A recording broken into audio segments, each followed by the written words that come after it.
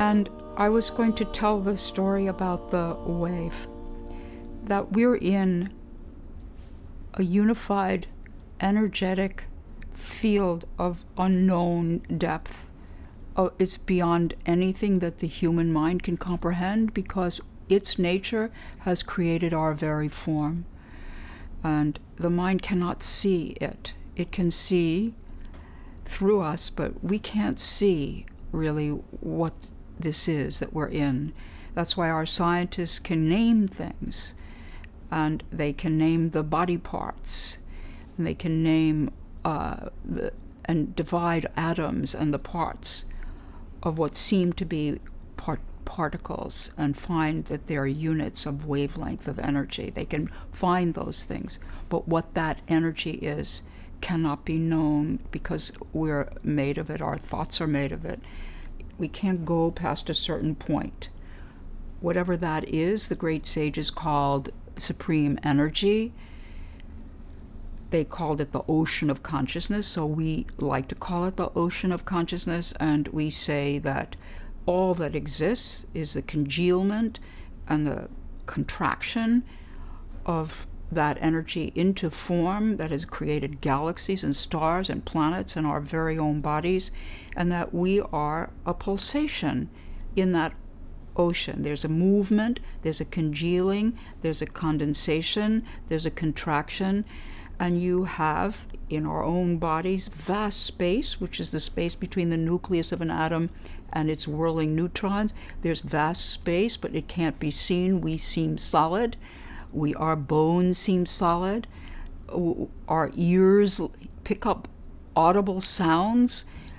It feels like an appearance of solidity, but we are energy.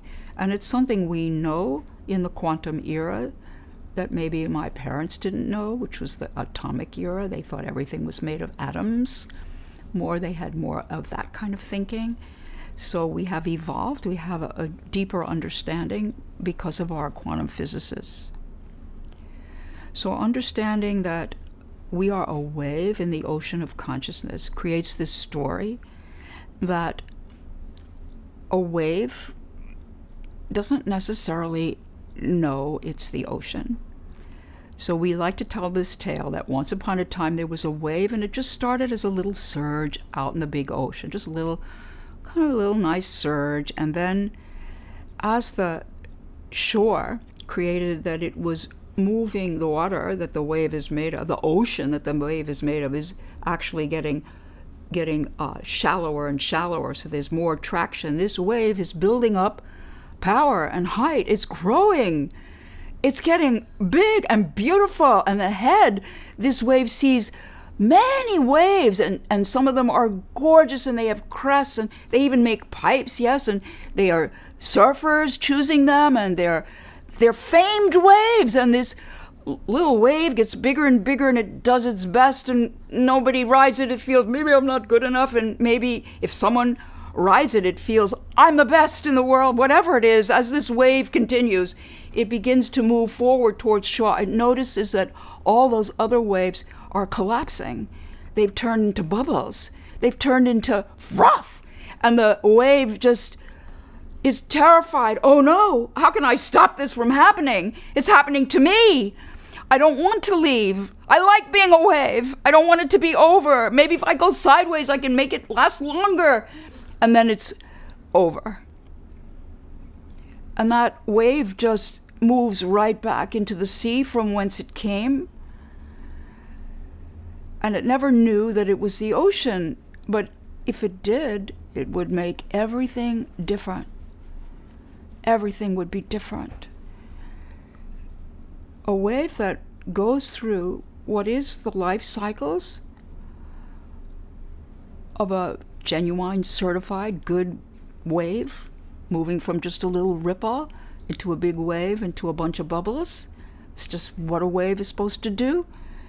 But if it knows that it's part of the play of the one ocean and that it is the ocean, that it is the ocean, just playing with itself, it has a very different perspective. And when we say what is missing in the world, is that our perspective is incredibly short sighted. It's based on identifying with something that comes and goes, that doesn't last long, that doesn't see its intrinsic nature. We are energy. We don't see that. We don't see what we're a part of. We're not living in the wonder of that. We're wrapped up in the minute and utterly short sighted story. It's so myopic of how big we're going to get and who's going to be with us and who's going to notice us and how long we're going to last. And is it going to hurt when we just get, you know, collapse into froth and how's it going to feel? And the, the, the short sightedness creates so much suffering or illusory happiness, like I'm great, or illusory sorrow, I'm nothing. And that's the ocean talking. It's the mighty ocean, and one of its little ripples has got itself all bollocksed up, thinks it's about to die or didn't do well, and thinks it's all over, is a total illusion. So they call that, the sages call that the, the illusion of separation, that the wave doesn't know it's the ocean in the same way we don't see the very, very core of our own being is tied to the infinite, boundless consciousness. Om Purnamadah Purnamidam Purnat Purnamudachyate Purnasya Purnamadaya Purnameva Vashishyate